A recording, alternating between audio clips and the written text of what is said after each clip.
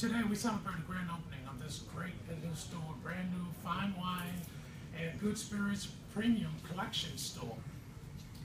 All of our store employees, as well as the management and, and the uh, regional managers, are here to help you explore 3,700 wines and spirits that are available here in this store, including the very popular Chairman selection wines, which you'll see here and also in the front left-hand corner.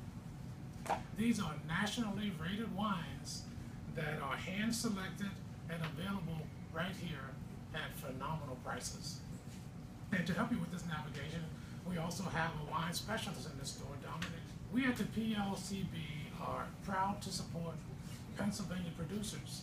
And that's why we also have incorporated a Made in Pennsylvania section, which is in the far corner there. This section is just one of the elements that we put into all of our fine stores.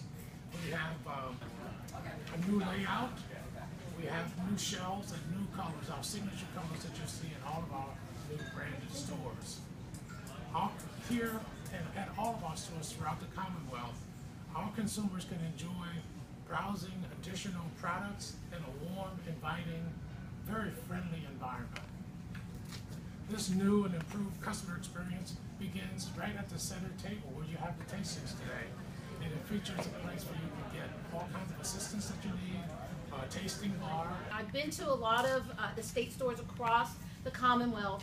You do know that the quality service you get is incredible. I mean, I've, they've always been hands-on, and that's what you want because you're not sure with the chairman selection what exactly they're looking for in the quality, but they'll help you figure it out, especially for the value and the price. What are you getting? Uh, do you want a drier wine uh, or sweeter wine? Things like that. They're really good at making sure there's no underage person leaving the store with alcohol. Almost perfect. And you can't say that about other entities, but you can that about um, the state stores. They also bring in a lot of money to the Commonwealth. It was important to understand because if we do, and if we would privatize these stores, we're going to have to raise taxes on you somewhere else.